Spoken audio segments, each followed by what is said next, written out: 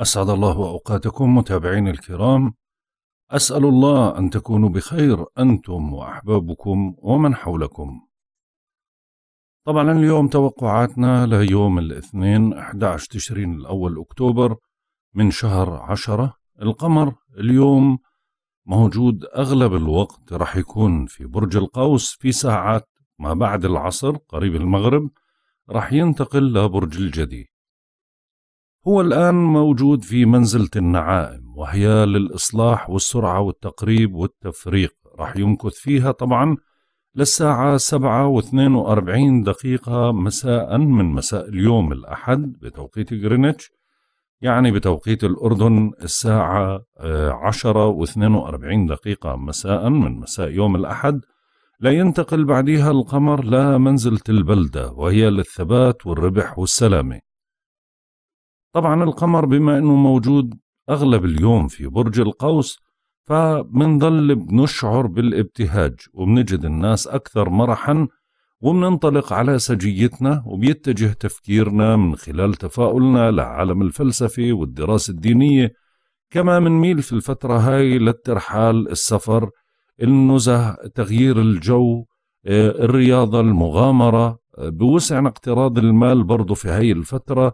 ودراسة لغة جديدة والاستمتاع بهواية ما وتجربة الحظ والتخطيط لرحلة ما أو إجراء مكالمة مع شخص في مكان بعيد. أول حدث رح يكون معنا هو اليوم هو انتهاء تراجع كوكب زحل اللي هو النحس الأكبر بسموه أو المعلم الصارم أو مدرس العبر يعني له مسميات كثيرة وكلها مسميات صعبة. طبعا هو له بتراجع قرابة الأربع شهور ونص يعني بين الأربع شهور ونص والخمس شهور. رح ينتهي هذا التراجع الساعة 2 و16 دقيقة صباحا. إيه، طبعا هو بتراجع في برج الدلو ورح يستمر هو. ماكث حتى للعام القادم برضه في برج الدلو. ولكن تراجع القادم رح يكون يوم 4 6 إيه، يعني 2022 التراجع القادم برضو نفس الشيء هو تراجعه بين أربع شهور ونص لخمس شهور. طبعا خلال الفترة الماضية شعرنا بفترة الأربع شهور ونص اللي مضت أو الخمس شهور هاي إنه شعرنا شوي بالضياع ما عنا قدرة على تنظيم أمورنا. صار في نوع من أنواع الفوضى في حياتنا. بنشوف إيه، إنه حتى إيه، الأشخاص اللي عندهم مسؤوليات بلشوا يتخلوا عن مسؤولياتهم. ضاء عندهم تفاعلهم مسؤولياتهم بالواجب رغم أنه التزامات في موجودة وزادت عندنا النفقات بشكل كبير. وهاي سببت إنه صار في خلل كثير عند كثير من الأشخاص بالميزانية. يعني صار عندهم المطلوب منهم أكثر من الداخل عليهم أو الفلوس بتيجي فجأة بتظهر مصاريف وبتطلع من عندهم. طبعا هو يعني زحل نفسه يعني هو كوكب نحس. فبطبيعته حتى وهو بيمشي بالحركة الأمامية. فما بالكم لما بصير يتراجع فهي النحوسة بتزيد أكثر. عشان هيك شعرنا بالأشياء اللي إحنا حكينا عنها خلال الفترة الماضية. الآن يعني بتبلش من الآن لغاية شهر ستة الأجواء تختلف تماما. يعني بقل نحوسته ولكن ما بتلتغي. فعشان هيك بتبلش الأمور ترجع لنمطها الطبيعي بصير عندنا نوع من أنواع تحمل المسؤولية بصير عندنا نوع من أنواع الالتزامات وبنقدر نسيطر على النفقات بنقدر نهتم فيها ننشط فيها نعالجها. فعشان هيك شوي الفترة الماضية كانت صعبة الآن بتبلش تخف شوي شوي. أما بالنسبة للزاوية التي تليها هي زاوية تربيع سلبية رح تكون بين القمر وبين نبتون وهي رح تكون في تمام الساعة 2 و17 دقيقة صباحا. بتجعل بعض الأشخاص يجنحوا للعيش في عالم وهمي من نسج خيالهم بعيد عن الواقع وبتجعلنا غير عمليين في تصرفاتنا وبنعتمد في مشاعرنا على مشاعر الآخرين. طبعا هاي لما حكينا أنه ثنتين و17 دقيقة هي بتوقيت جرينتش بتوقيت الأردن الساعة 5 و17 دقيقة صباحا. طبعا تأثيرها طول اليوم. أما بالنسبة للزاوية التي تليها فهي زاوية تسديس إيجابية راح تكون بين القمر وبين المشتري وهي راح تكون في تمام الساعة أربعة وثلاثين دقيقة صباحا يعني أربعة ونص بتوقيت غرينتش إيه، بتوقيت الأردن إيه، زي ما حكينا منزيد ثلاث ساعات فالساعة سبعة ونص بتوقيت الأردن صباحا برضه بتصير هاي الزاوية بتتشكل فتأثيرها إنه بالفترة هاي بنهتم بشكل كبير بمشاكل ومتاعب الآخرين من حولنا كأنها مشاكلنا إحنا. ومنحاول إنه نساعدهم قدر الإمكان يعني زي تقديم عمل إنساني أو مساعدة وبرضه بتلوح الفرصة للتحصيل على مكاسب مالية وبتساعدنا في تعزيز الروابط العائلية. ولكن بدكم تحذروا إنه من الساعة أربعة ونص صباحا اللي هو سبعة ونص بتوقيت الأردن بيبدأ خلو المسار. يعني هاي الزاوية بتكون مشكلة وبرضه في خلو مسار.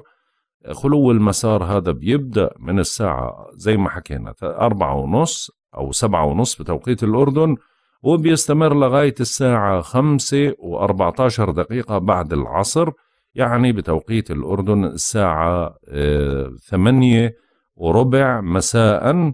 هذا بيعني أنه الفترة المذكورة لا تصلح للبدء بأي عمل جديد أو مهم مثل توقيع عقد أو خطوبة أو زواج أو شراء شيء ثمين بل إكمال العمل اللي بدأنا فيه قبل خلو المسار. الساعة خمسة وأربعة عشر دقيقة بعد العصر أو الساعة ثمانية وأربعة عشر دقيقة بتوقيت الأردن بيصير القمر موجود في برج الجدي. فعشان هيك من ساعات المساء بتبلش تأثيرات القمر على كافة الأبراج في هاي الفترة أنه منعود لطبيعتنا الجادة منحاول إنجاز عمل متراكم نجد أنه الأمور ما بتصير معنا بسهولة وبتسيطر علينا روح التشاؤم أو على البعض منا وعلينا الاجتهاد أكثر بأعمالنا وبوسعنا الشروع بعمل جديد أو شراء تحفة أثرية أو البدء بحمية أو تجديد تأمين أو شراء بوليس التأمين أو عمل تأمين. بما أنه القمر رح يكون موجود في برج الجدي معناته خلو المسار القادم رح يكون يوم الأربعاء 13 عشرة بيبدأ في تمام الساعة 10 و53 دقيقة صباحا بتوقيت غرينتش وبيستمر حتى تمام الساعة 8 و46 دقيقة. مساء بتوقيت غرينتش لينتقل لبرج الدلو. يعني بتوقيت الأردن الساعة 1 و53 دقيقة آه، بتوقيت الأردن بعد الظهر. وبيستمر لغاية الساعة يعني 11 و 11 و 46 دقيقة قبل منتصف الليل. بالنسبة لعمر القمر عمر القمر الهلال بلش يتجه باتجاه المربع ولكن ما زال هلال خمس أيام في تمام الساعة تسعة وأربع دقائق صباحا بيصبح ست أيام نسبة الإضاءة 35% أما بالنسبة لمزاج الكواكب وطباع الكواكب لهذا اليوم الشمس في الميزان حتى يوم 23 عشرة سعيدة بنسبة 45% القمر في القوس بده ينتقل للجدي وراح يمكث في الجدي لغاية يوم 13 عشرة سعيد بنسبة 15% عطارد في الميزان بيتراجع حتى يوم 18 عشرة منتحس بنسبة 25% الزهرة في القوس حتى يوم 5 11 سعيد بنسبة 30% المريخ في الميزان حتى يوم 30 عشرة سعيد بنسبة 45% المشتري في الدلو بيتراجع حتى يوم 18 عشرة منتحس بنسبة 10% زحل في الدلو حتى يوم 4 6 2022 ليبدأ عملية التراجع القادم هو منتحس بنسبة 10% نزلت نحوسته من آه، قرابة الأربعين في المية لعشرة في المية. أورانوس في الثور بيتراجع حتى يوم 18 واحد منتحس بنسبة عشرة في المية. نبتون في الحوت بيتراجع حتى يوم واحد 12 منتحس بنسبة عشرة في المية. بلوتو في الجدي حتى يوم 29 أربعة سعيد بنسبة 15% وصلنا للتوقعات اليومية. برج الحمل. طبعا ما زالت الأجواء ممتازة جدا حتى اليوم عندكم. من الآن لغاية ساعات المساء بضل في عندكم نشاط في مجال الدراسة السفر الاتصالات مع أشخاص خارج البلاد أو الاتصالات البعيدة وبتشعروا برضو بقوة العاطفة واليوم أحبائكم بتجاوبوا معكم أكثر. ممكن اليوم تخرج في رحلة أو تروج لعمل أو تحصل على معلومات ما كنت تتوقعها. اليوم اللي عنده امتحان أو عنده مقابلة بده يدرس ويستعد بشكل جيد وخصوصا فترة خلو المسار رغم أنه الأجواء جيدة. بيكون لكم اليوم نوع من أنواع النجاح والحظ وخصوصا في حياتكم العاطفية والعائلية. ولكن في ساعات المغرب تقريبا أو يعني في ساعات المساء بيختلف الجو تماما. هذا طبعا بتوقيت الأردن هو من بعد العصر.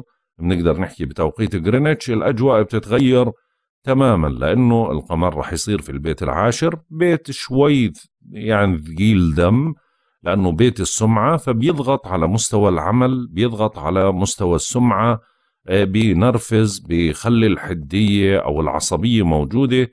فعشان هيك بدكم تحافظوا على سمعتكم تحافظوا على تصرفاتكم قدر الإمكان. برج الثور. طبعا اليوم كمان بتعيدوا تنظيم أموركم المالية المشتركة. اليوم آه، الاهتمام كله بالأموال المشتركة. مثل يوم أمس الأموال اللي ما بتعود لك لحالك اللي معك شريك فيها أو اللي تعاملت فيها مع أشخاص. واليوم بيكون في فرصة متاحة لمكسب مالي ولكن مع هيك بدكم تخففوا من النفقات المتصاعدة. حاول إنك تسارع لتهدئة الأجواء لأنها هاي فترة مناسبة للاطلاع على آراء الغير أو الأسرار اللي موجودة عند الغير. اليوم ممكن تتلقى مساعدة أو تعاطف من بعض الأشخاص عليك إنك تتحلى بالليونة والتفكير الموضوعي في كل تصرفاتك. طبعا في ساعات ما بعد العصر الأجواء بتصير تتغير لأنه القمر رح ينتقل ويصير في البيت التاسع لإلك. فالأجواء رح تتحسن بشكل أكبر يعني رح تنشط بالاتصالات بالتواصل مع أشخاص خارج البلاد بالأمور الفلسفية الأمور الدينية بمواضيع بتتعلق بالسفر أو الهجرة أو أوراق بتتعلق بهاي الأمور أو اللي عندهم امتحانات جامعية أو مؤتمرات برضو بالفترة هاي بيزيد تفكيرهم واهتمامهم في هاي الأمور. برج الجوزاء. طبعا اليوم مناسب لتعزيز شراكاتكم من الآن لغاية ساعات ما بعد العصر وتفاهمكم مع شركاء العاطفة أو العمل مع الأزواج تحديدا. وهاي فترة يعني هي رغم أنه فيها إيجابية لتمتين العلاقات أو المصالحات ما بينك وبين الأزواج إلا أنه بكون في نوع من أنواع الضغط وما بينفعك فيها سوى الصبر والمرونة وتحاول أنك تمسك أعصابك لأنه أي مشاحنة أو أي خلاف أنت الحلق الأضعف لأنه ما زالت طاقتك ضعيفة بسبب وجود القمر مقابلك تماما. فاليوم من المحتمل أنك تتعرض لمضايقات أو خلافات أو استفزازات فحاول قدر الإمكان تمسك أعصابك.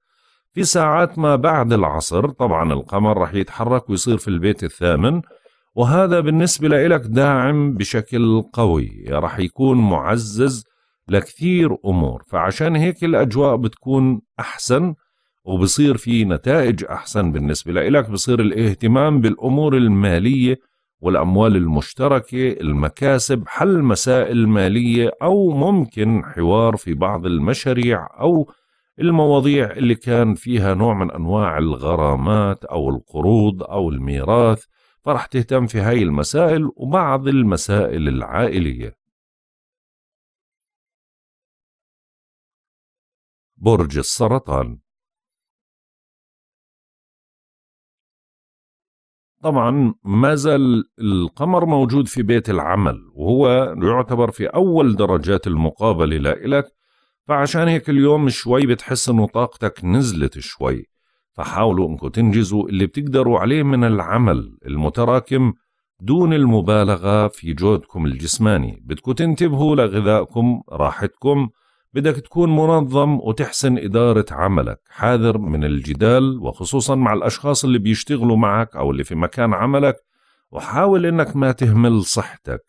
ما تأجل وما تماطل يعني هيك تتراخى أو تتكاسل في تأدية أعمالك حتى لو اضطررت للعمل لساعات إضافية.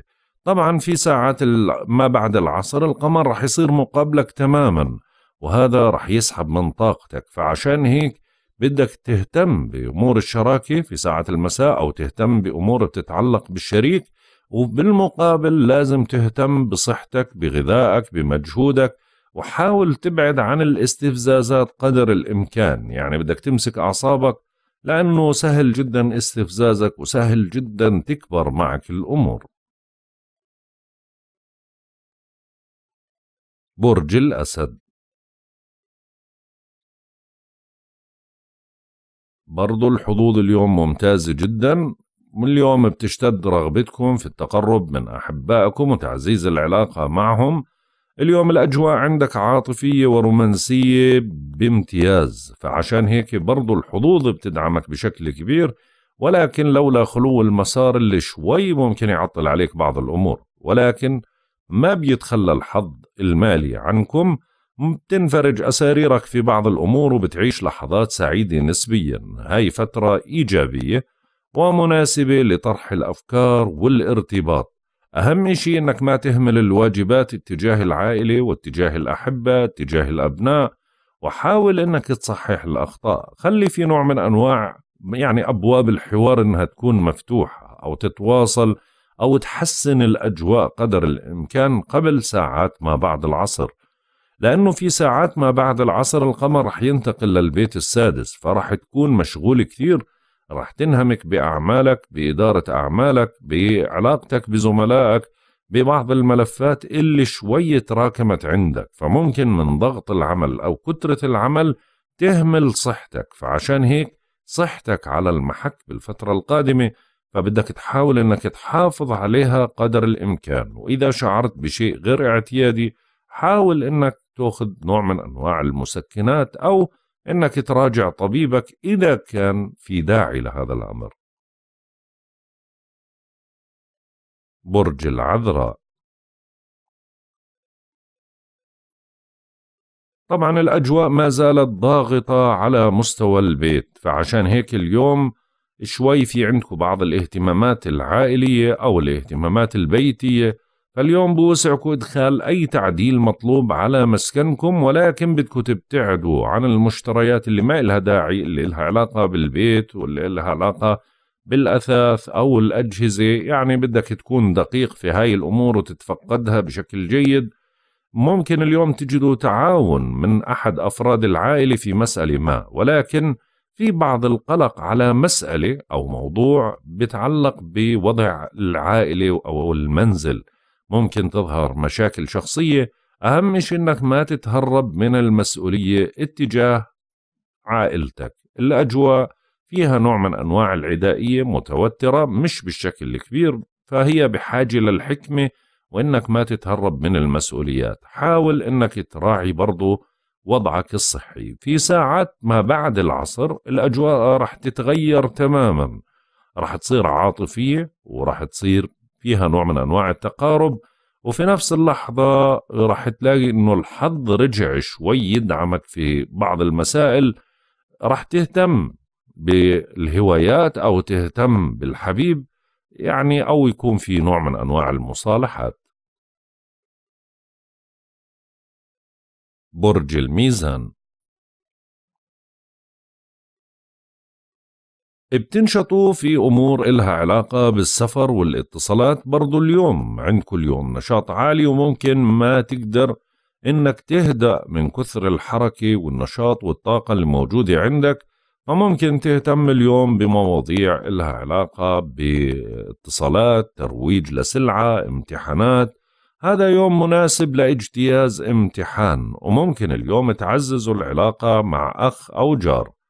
أهم شيء إنه اليوم الحظوظ برضو بتدعمك ولكن ما تعتمد عليها إذا كان عندك امتحان أو مقابلة لأنه في فترة خلو مسار في ساعات النهار. عشان هيك بدك تدرس وتستعد بشكل جيد. حاول أنك اليوم تكون جريء في التعبير عن رأيك وتتمتع اليوم رح تتمتع بسرعة عالية من البديهة وبتلفت النظر حتى بردات فعلك. الأجواء لطيفة وبتحمل لقاء عاطفي أو مصالحة أو ورشة عمل لتأهيل قدراتك. طبعا كل هذا لساعات ما بعد العصر. من ساعات ما بعد العصر طبعا الأجواء رح تتركز على البيت على العائلة على الاهتمامات العائلية. ممكن شوي يصير في موضوع مزعج أو نقاش أو حدث عائلي شوي يستفزك. حاول تمسك أعصابك. برضو ممكن تظهر بعض الأعطال اللي إلها علاقة بالبيت أو بالمنزل. برج العقرب.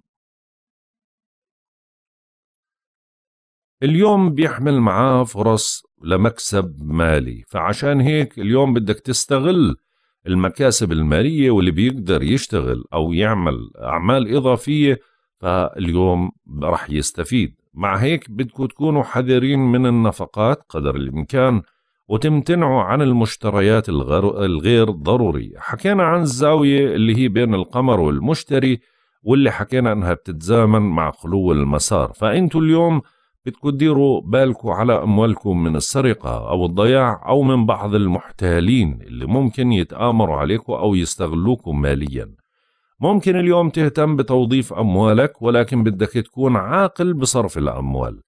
ممكن تهتم لمناقشة دعم مالي أو قرض أو تفكر في بعض الاستثمارات والتوظيفات. هاي فترة يعني إيجابية ممكن تحقق من خلالها ربح. فالأجواء ممتازة وداعمة على المستوى المالي ولكن بدك تنتبه من التحذير اللي ذكرت لك إياه.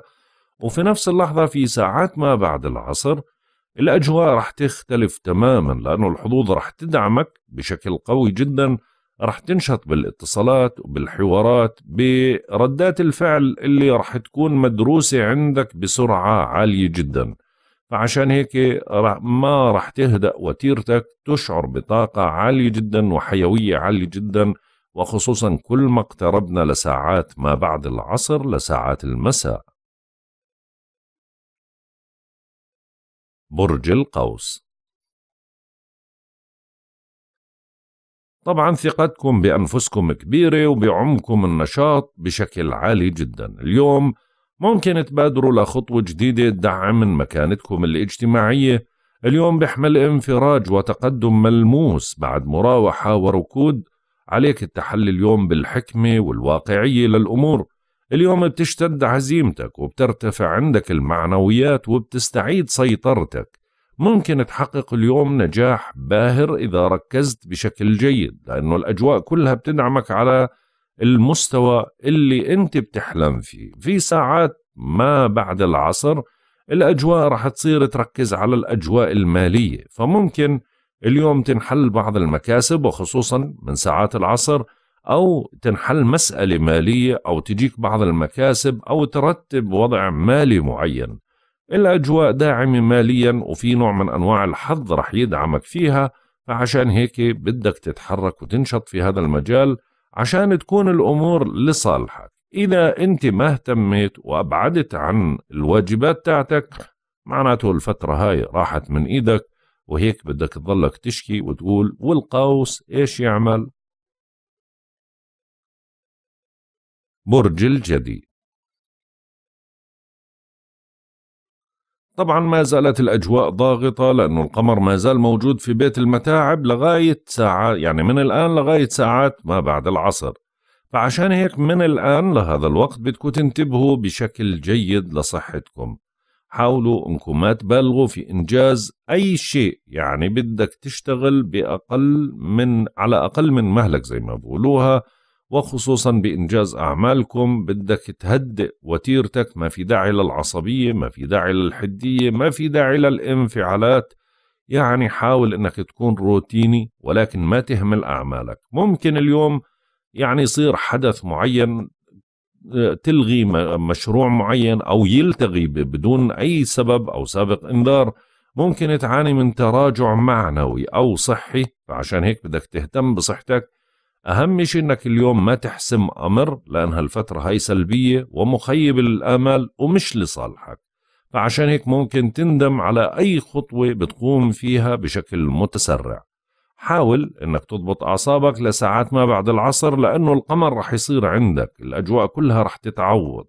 طاقتك بترتفع معنوياتك بترتفع حتى نسبة حظوظك بترتفع. فهي الصبر. حاول إنك تمشي اليوم هذا بالأشياء الضرورية والمهمة باقي الأمور خليها روتينية طبيعية. برج الدلو طبعا اليوم الآن يعني من الآن بدك تحاول تنجز كل الأعمال الضرورية والمهمة المطلوبة منك وحاول ما تأجل أي شيء لغاية ساعات المساء. يعني ما بعد ساعات المساء الأجواء راح تكون سلبية. فالآن أنت بإمكانك أو تعزز صداقاتك وتخلي أحد الأصدقاء يساعدك في أعمال يعني أنت محتاج أنك تتممها. اليوم في أشخاص منكم رح يحققوا أمنية بمساعدة صديق ومنكم أشخاص ممكن يشاركوا في مناسبة سعيدة أو يتوجه لهم دعوة لحضور حفلة أو مناسبة أو حتى يحصلوا على هدية. بتتسع عندك الآفاق وبتحتفل بنجاح أو تطور علاقة. من الآن لساعات ما بعد العصر. ممكن تعزز شعبيتك وتحصد أرباح ما كنت تتوقعها. وممكن بعض الأصدقاء يعني هيك يدخلوا الفرح على قلبك لوقوفهم لجانبك أو أحد الأقارب. فعشان هيك بتشعر إنه الضغوط مش بالشكل العالي يعني أقل من العادي ولكن كل ما اقتربنا لساعات العصر القمر رح يصير موجود في بيت المتاعب. فرح تشعر إنه الأمور بلشت من ساعات ما بعد العصر للمغرب. يعني بلشت الأمور تتأجل تتعطل الحظ كأنه تخلى عنك. فراح تجد أنه الأمور صارت تمشي بصعوبة. بدك تنتبه على صحتك تنتبه على تغذيتك تنتبه على أعمالك. ما تتخذ قرارات حاسمة وخصوصا من ساعات ما بعد العصر لأنه القمر زي ما حكينا رح يكون موجود في بيت متاعبك. برج الحوت. طبعا هذا يوم مناسب للأشخاص اللي بيبحثوا عن عمل واللي بيعملوا بينجحوا بالدفع بمصالحهم وبيحافظوا على إنجازاتهم القائمة. أهم شيء إنك تهدئ من روعك قدر الإمكان. وحاول إنك ما تنفعل لأنه ما زال القمر موجود في بيت السمعة. فعشان هيك بدك تتجنب مخالفة القوانين وتحرص على استقرارك. تجنب الخلافات والمجازفات الشائكة وإحرص على لجمها إذا شعرت ببدايتها.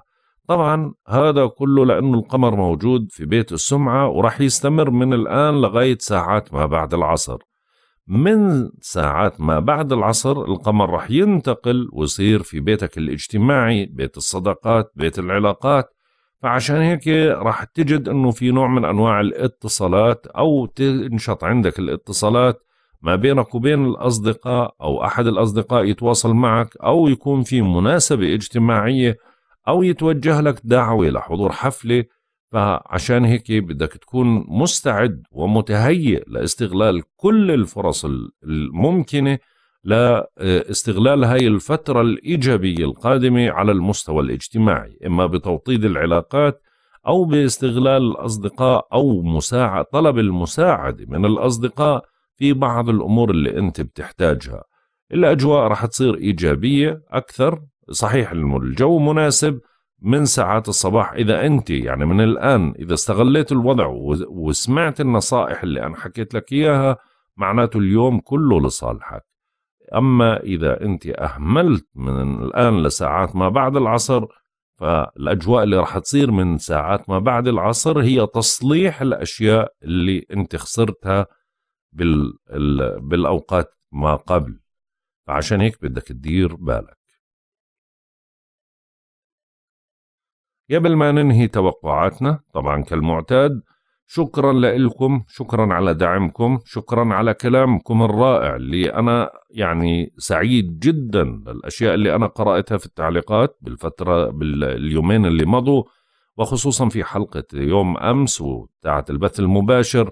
يعني كان في نوع من أنواع التشجيع عالي جدا وهذا الشيء أسعدني. وكمان تفاعلكم باللايكات بالكلام الرائع يعني هذا شجعني أكثر على أني أعمل أشياء أكثر من آه، يعني نفسي أقدم حتى الأشياء اللي ما بقدر أقدمها أو أنه شوي صحيا ما بقدر لها أني أحاول أني أنا أجهز الأمور لإلها.